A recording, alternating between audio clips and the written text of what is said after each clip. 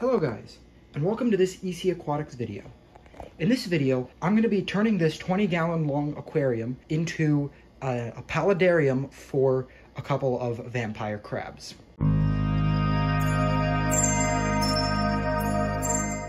Vampire crabs are semi-aquatic crabs, so they need uh, an aquarium with both land and water, which is what a paludarium is. And an ideal vampire crab enclosure is about 80% land and 20% water, as they will spend the majority of their time on land, with only periodic dips in the water, mostly to molt.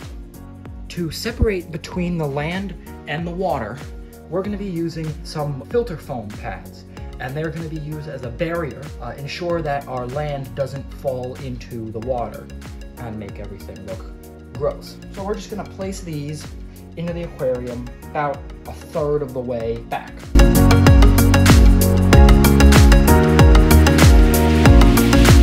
There we go.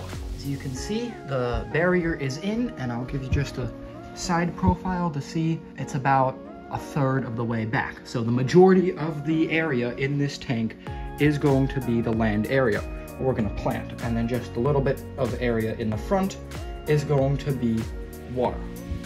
We're gonna now add sand into the water area of the tank. This is the sand that was in the previous iteration of this tank, which was my Apisto breeding aquarium. So we're gonna add some of the sand just to create sort of a a light coating. It doesn't need to be very deep. We're not to be planting that many plants into the water section.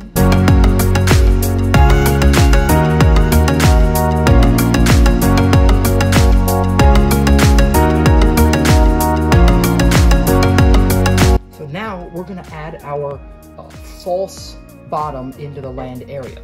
And for this, we're going to be using some pea gravel and this I bought at my local Home Depot for about $5 for a, a nice big bag. And there's other stuff that you can use that is uh, made more specifically for drainage in uh, terrariums and paludariums, but pea gravel works really well and it's very cheap, so that's why I went with this. And we're gonna wanna add just a bunch of it into uh, the land area, and this is gonna sit basically uh, the entirety of the way in the water, and it's going to prevent our soil from getting uh, super uh, mucky and muddy and, and gross and potentially killing our plants. There we go.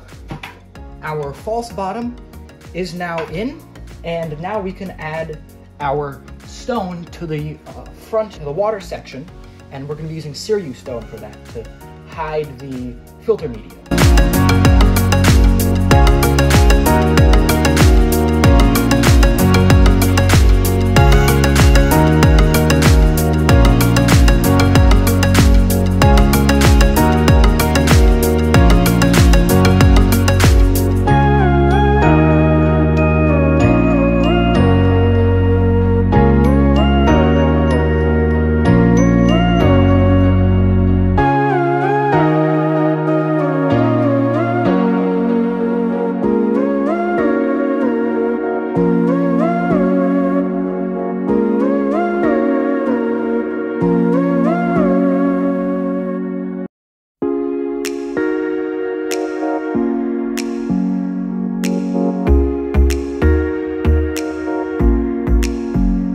Also added a couple pieces of driftwood that I had just laying around uh, in order to help the crabs uh, and give them more areas to climb out of the water and onto the land. Now, the next step is to add our uh, weed barrier. And this is just some organic weed fabric that you can buy at any Home Depot. And this is going to be the barrier that will separate the dirt and keep the dirt uh, enclosed on top of the false bottom for the land where we're going to plant our plants. So this allows water to go in and out, but it'll keep the dirt separate and ensure that it doesn't mix into any of our other substrates. So I'm just going to place it down and it doesn't have to be perfect right now until we fill it in with dirt.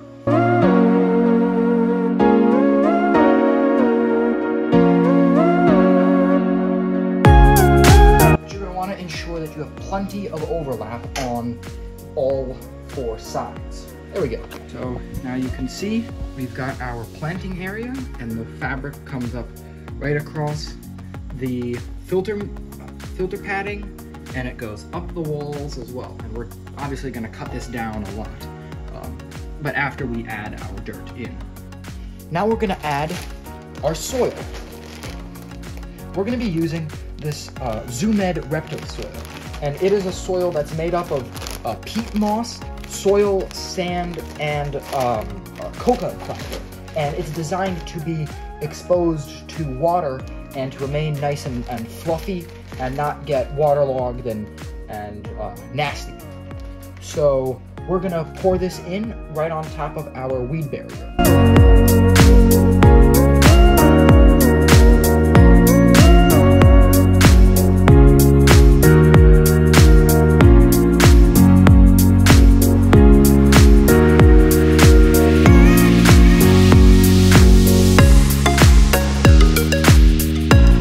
We go. Now all our soil is in, and now we need to trim off some of the all this excess uh, fabric that we no longer need, so that we can plant a lot more easily, and that so it doesn't get in the way because it visually doesn't look all that great. Now that we've got all of our excess fabric removed, it's time for us to plant our terrestrial, and they are currently down here. So we've got a bunch of vein plants, we've got some moss, uh, we've got some mondo grass, and then over here we've got a fern, and we're gonna just dot those all through this uh, area. We're also gonna add a coconut cave for our crabs to hide, and they need lots of hiding spaces uh, in order to feel safe and, and comfortable. That's why we're including all these plants, and they'll actually use these plants to climb a little bit and uh, further explore their habitat. First plant we're going to be adding is some of these vein plants, also known as uh, Fittonia. And uh, they're a really great terrarium or paludarium plant.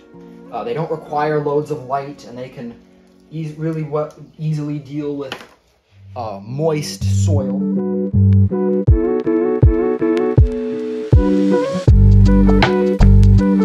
This one's a nice colored one that we're going to add.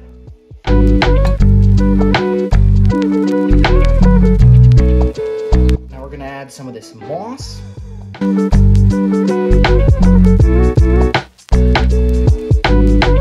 we're gonna add some of this Hemigraphis repanda.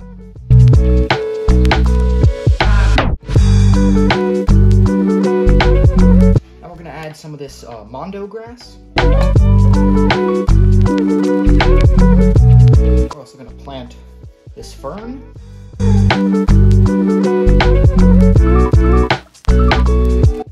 Now that our plants are all in, I've I have some mulch here, and I'm gonna use it to cover uh, the dirt and the bit of liner that's still showing. And this will keep that dirt down and give the crab just a little bit more substrate to uh, dig around in and, and bury themselves in, while ensuring that the dirt doesn't end up migrating over to uh, the water. Now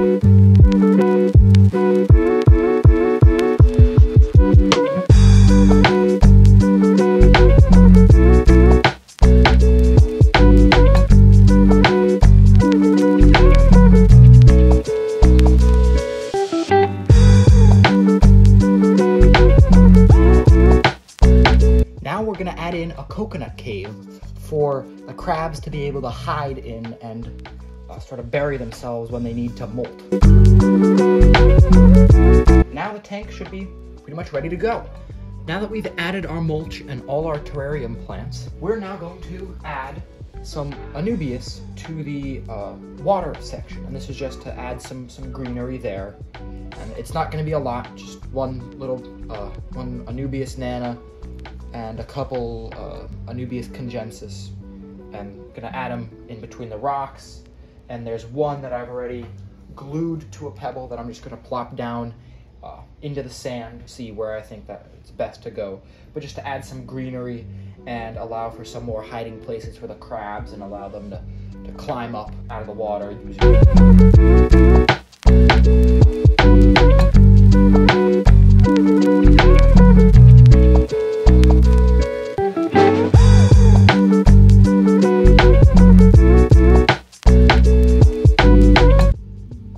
there we go. Now all our Anubias is in, so that will be basic. That one will be basically halfway up out of the water, out of the water, and half in.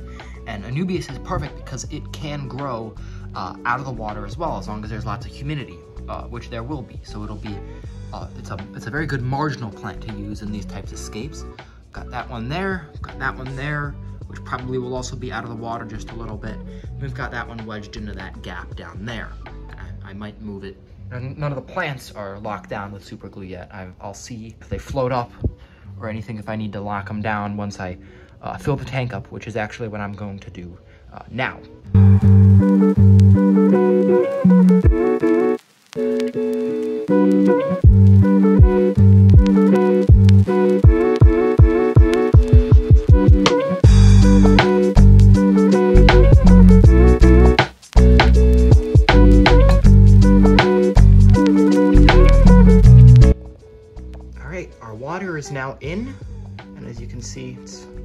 Not quite reaching the top of the rocks. And from uh, everything that I've read, it seems that uh, the crabs will be fine without a heater uh, in the water. Uh, the, the room that I have them in stays at a good 70, 72 degrees. So they should be fine without a heater uh, when I do pick them up. I've added, um, obviously, my dechlorinator in as well to ensure that this water is, is nice and dechlorinated. The water is right at the, the base, basically, of the uh, soil, so it's it's wet, but it's not soaking wet. Uh, so that way, the plants will be able to wick up moisture into uh, with their roots, but they won't. Uh, their roots won't drown. And uh, I've added a lid because these crabs are notorious escape artists and they like high humidity. And from what I've read online is that's the biggest um, killer for them is um, low humidity and they effectively dry out while on land. So everything I've read says that you need a lid in order to keep humidity right around 75% or so in their tanks. And uh, when I end up getting the crabs, I will be sure to, to vlog that as well and, and show you guys. Uh, but uh, thank you guys for watching. And if you enjoyed this video, uh, be sure to hit the like and subscribe buttons, and I will see you all in the next one.